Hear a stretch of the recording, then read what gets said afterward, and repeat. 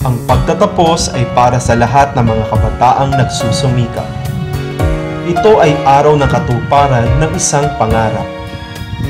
Ito ay hindi pagwawakas, bagkos pagsisimula ng panibagong pahina sa buhay patungo sa tagumpay. Ang maraming taon ay kay bilis na nagdaan Isang malugod na paanyaya na tunghayan ang mga batang mag-aaral ng ika-anim na baitang sa ika-isandaang pagtatapos ng paaralang sentral ng Kabuyaw taong panoroang 2019 hanggang 20 at 20. Puso kailanman Itinanim at nagmula sa Kabuyaw Sentral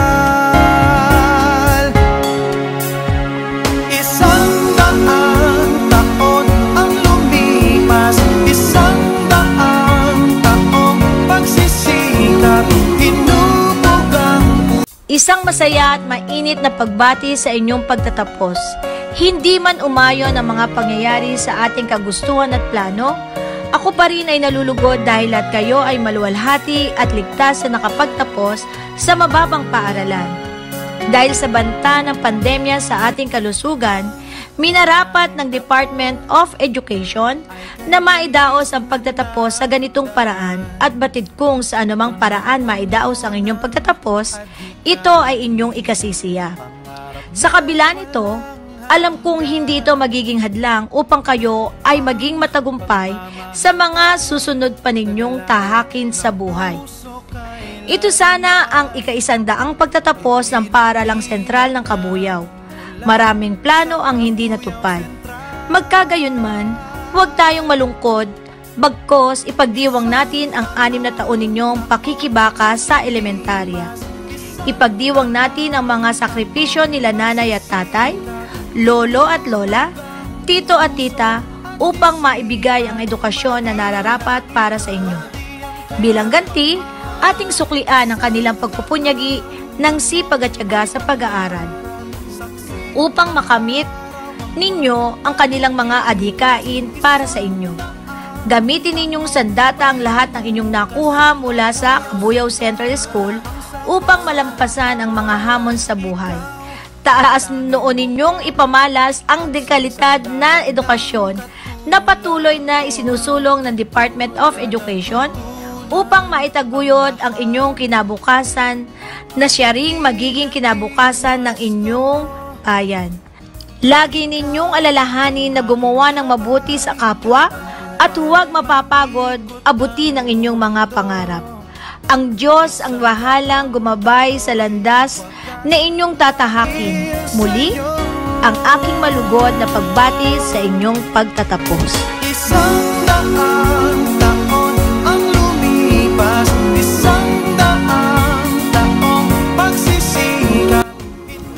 araw ng pagtatapos, inyong kakamtin, medalya at sertipiko na inyong dadalhin. Bunga ng pagod at maraming gawain, masigabong palakpakan inyong tanggapin. Malugod ko pong ipinababatid ang mga batang nagkamit ng may karangalan.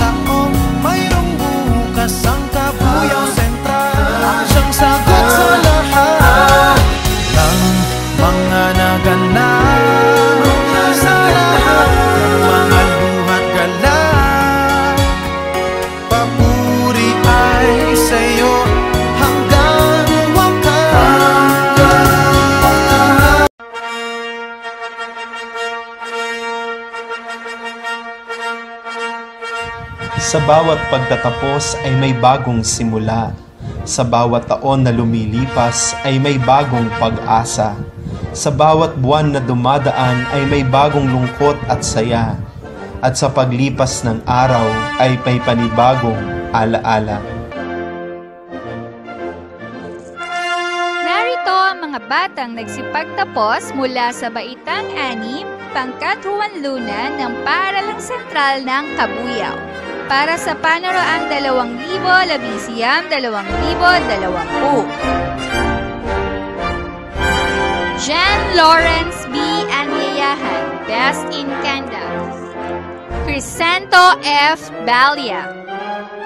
Kenjiro Deon Baris.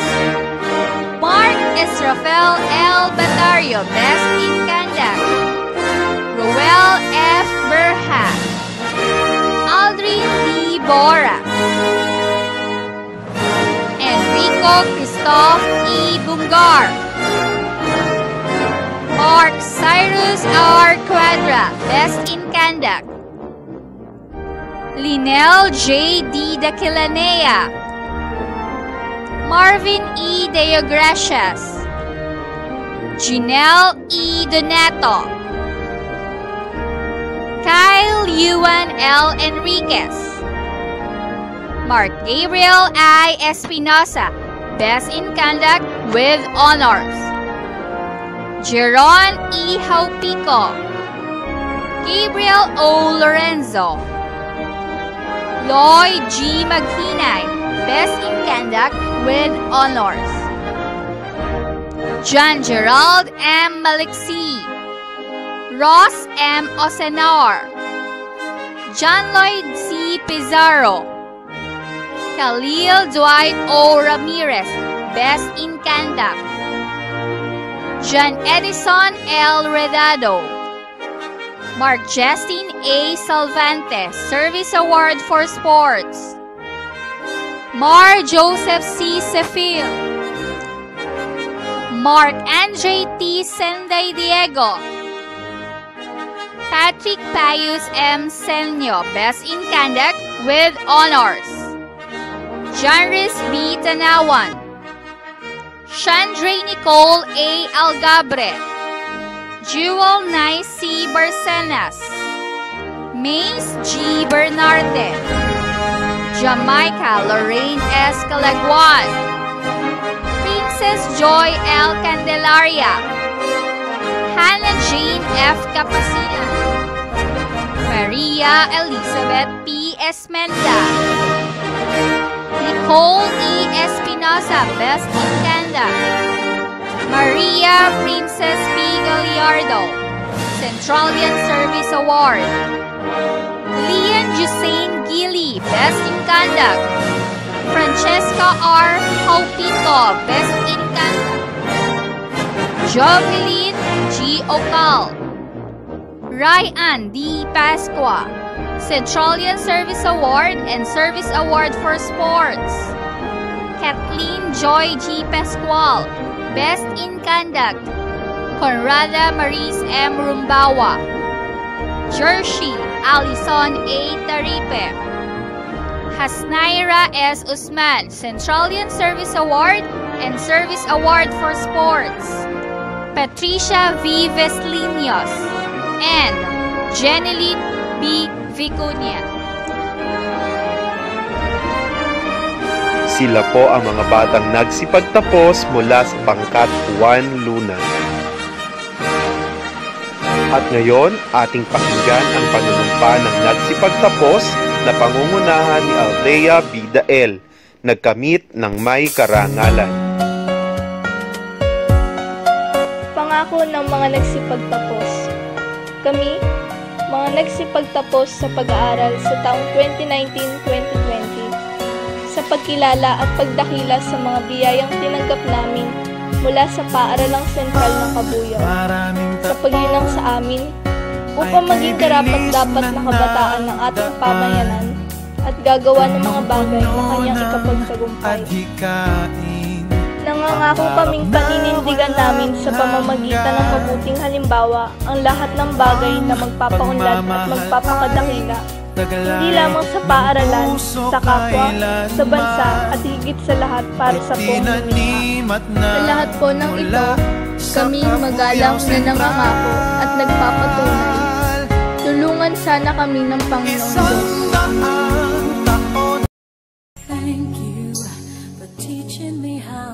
Malugod at taos-pusong pasasalamat ang ipinapaabot ng Paaralang Sentral ng Kabuyaw sa Sangguniang Panlalawigan, Panglungsod, Pangbarangay, Samahan ng mga magulang at guro, mga kabarangay, mga kaibigan at mga magulang sa lahat ng pagtulong na ipinagkakaloob ninyo para sa kapakanan ng ating mga mag-aaral. Higit sa lahat, Salamat po sa Panginoong ating Diyos. Mabuhay ang batch 2019-2020. I'd ever hoped for. And a lot of what I've hoped for is thanks to you.